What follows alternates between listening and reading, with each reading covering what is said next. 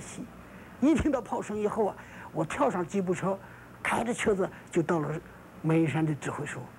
到了指挥所以后，所有的通信线路全断了。我给防卫部、给炮支部，统统都联络不上，全金门岛上的通信全部瘫痪。那这个时候联络不上，怎么办呢？那这时候我就想下决心自己反击。所以我们这些几个营长啊，都是自己下了决心开始打的。司令官的命令、炮兵指挥官的命令、军长的命令都下传不下来。那时候只有我们营长自己下决心，所以就开始打。所以我们都是这样打。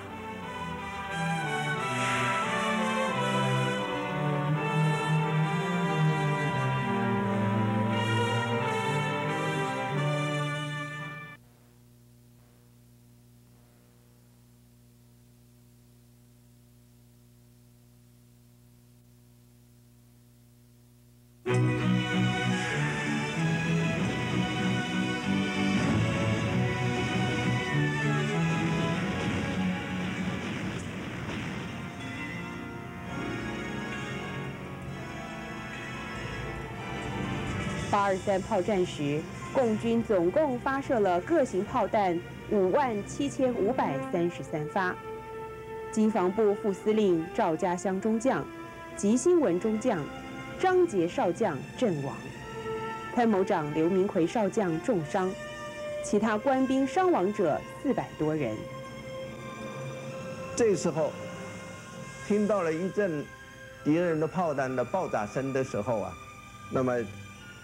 这个赵、吉、张他们三位副司令官，还有那个刘参谋长，就马上跑出餐厅。因为在餐厅外边呢是没有一点掩备的，那马上啊，他们就中到了这个炮弹的弹片了。赵副司令官就阵亡，阵亡在这个桥上。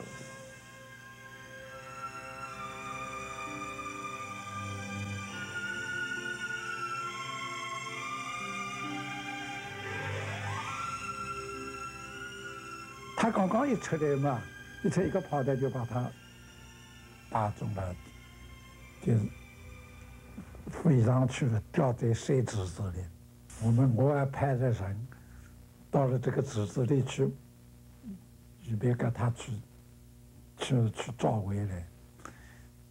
找到找到这一块腹部的一块一块肉，电台的保护官。结果就被第一群炮里面其中的一发炮弹直接命中在身上，我当时身体全部炸碎、炸飞，这个肠子就挂在树枝上，这个头颅啊就沿这个这个斜坡啊就一直滚到下面个碉堡门口。